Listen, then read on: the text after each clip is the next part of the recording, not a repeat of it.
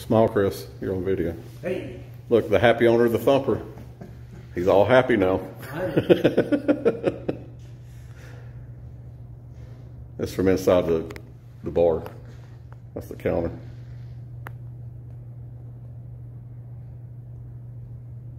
Got to work on the lighting in here, Chris. It's messing up the video. it's always messed up. Uh, now we're going out the shop, out in the distillery.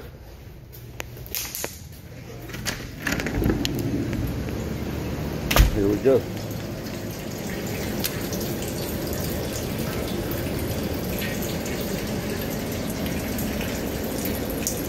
Still at 180.